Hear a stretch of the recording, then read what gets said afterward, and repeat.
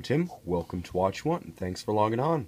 Today, we're looking at the Audemars Piguet Jules Audemars Tourbillon chronograph reference 25909, 43 millimeters in 18 karat white gold.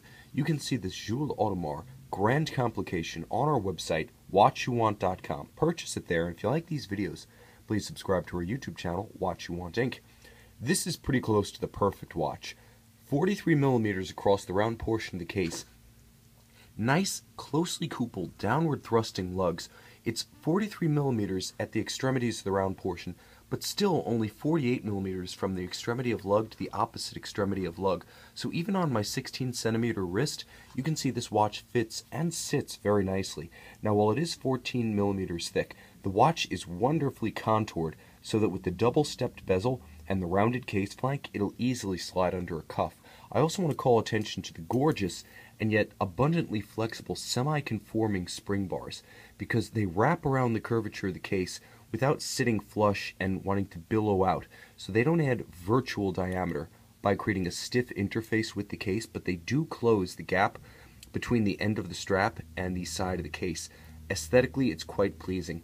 Now, the case itself is a marvel. With gorgeous double finish, you can see alternating polish and brushed portions even the lugs themselves feature alternately vertically brushed portions on their flanks and polished hoods.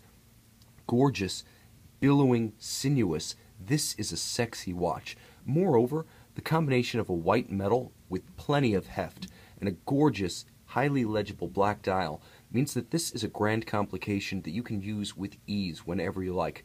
First and foremost, let me show you something you might not expect from a grand complication. Everything here that looks like lume is lume. It glows like a torch. Give me a moment to energize it, and I'm going to show you how this chronograph tourbillon pretty much transforms into a Panerai Luminor.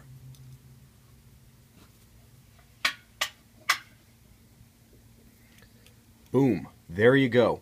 It doesn't get much more dramatic than that, but you're looking at a tourbillon chronograph that doubles as a flashlight. I didn't expect this, but then this watch is full of surprises. Now another surprise is just how visible the tourbillon cage is.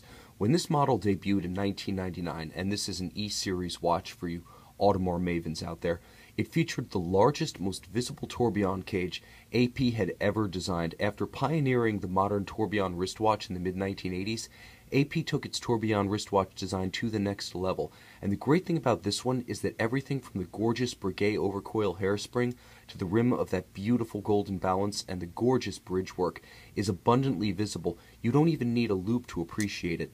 Now the dial itself is a gorgeous backdrop to the centerpiece of the tourbillon, featuring skeletonized hands the better to not interfere with your view of the tourbillon itself, and a discreetly integrated chronograph function. Now, the chronograph, surprisingly, is hugely less legible, visible, and practical. It doesn't play second fiddle in any way to the, to the tourbillon display itself.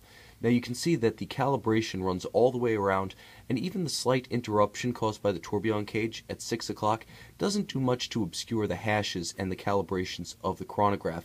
With a 30 minute register right here, you can see that for all practical intents and purposes, this is the king of complications, the chronograph, combined with the absolute prince of refinements, the tourbillon. Now, when you turn the watch over, you can see it's as ornate on the case back as it is on the front.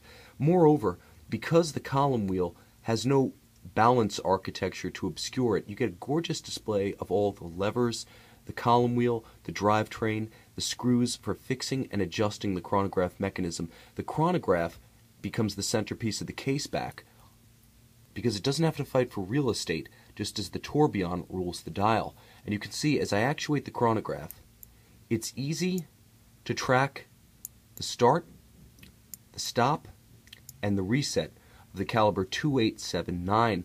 Now, this is a 30 jewel movement adjusted in five positions, highly accurate and everyday wearable. It features a 48 hour power reserve and a clever use of an adjustable titanium chronograph lateral clutch, so it has a lot of inherent stiffness built in and multiple adjustment positions so that in the hands of AP watchmakers, the chronograph function itself can be actuated without the characteristic jump that's often seen on lateral clutch chronographs.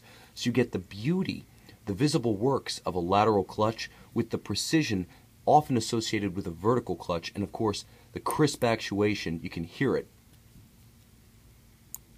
that comes with a column wheel, both in terms of feel and that crisp snap that the ear picks up as it's activated. The watch is an outstanding example of practicality in an haute horlogerie, absolutely top shelf, high complication. When you combine a tourbillon with a chronograph and this level of finish, you can see the degree of mirror polished anglage. You can see the partridge eye polish also to a mirror shine of all the jewel sinks. You can see screws, each head polished, each edge chamfered, and you can see the gorgeous bridge work with a subtle Cote de Genève pattern that comes to life at an angle within the light right here. It's just gorgeous. The centerpiece is the chronograph. The centerpiece is the tourbillon. Each one given equal billing in this Audemars Piguet Jules Audemars reference 25909, 43 millimeters in 18 karat white gold. See it and buy it on watchyouwant.com.